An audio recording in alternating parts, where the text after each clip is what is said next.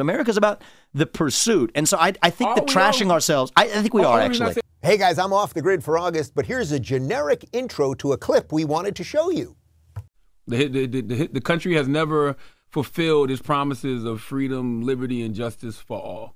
It's always been freedom, liberty, and justice for some. And usually that some is uh, white people. So here's what I would say in response to that. That is obviously true that the nation has fallen short of our promise since our founding. Walk through some obvious facts about America. We're not founded on an ethnicity or a monarch or a food or even a religion. We're founded on a set of ideals that brought a group of people together in 1776, and we live by those ideals. At least we aspire to those ideals today a nation that aspires to ideals that's not made up of gods, but made up of human beings, will always fall short of those ideals. So I think our worst hypocrisies as a country, and we have many of them, mm-hmm. Our worst hypocrisies are our best evidence that we have ideals at all.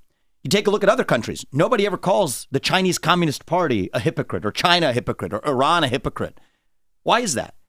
Because to be a hypocrite, you at least had to have ideals in the first place. But a lot of And, and so we're imperfect, but we are about the pursuit of a more perfect union, the pursuit of happiness. America's about the pursuit. And so I, I think Are that trashing ourselves, I, I think we are reason I actually. say that is because you know we, we never were included in those ideals originally. Like, Originally, Yeah. but never and not originally are two different things. Mm-hmm. Originally, that's true. Mm-hmm.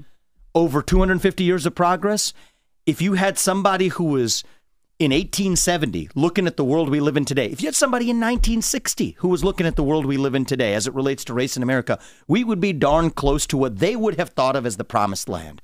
So I think we have to recognize that America is about that pursuit we're a lot further along than we were 250 years ago. We and here's the other thing too. We got to set our expectations. We will always fall short of our ideals. By definition, if there are human beings and not gods living in a nation that aspires to ideals, we are fallen. Man is fallen. That's what makes us who we are. But what also makes us different from animals is that we have ideals. Mm-hmm. So America's founded on our humanity. That we can believe and aspire to something that we will still fall short of. That's what makes this country beautiful. And that's why it, it- that's why I'm in this. You ask me why am I in this? I care about reviving pride in that nation because if we get into the habit of just bashing that country, what are we bashing? We're bashing the last best hope that man has for aspiring to those ideals. Tell me who else has done better. I'll wait.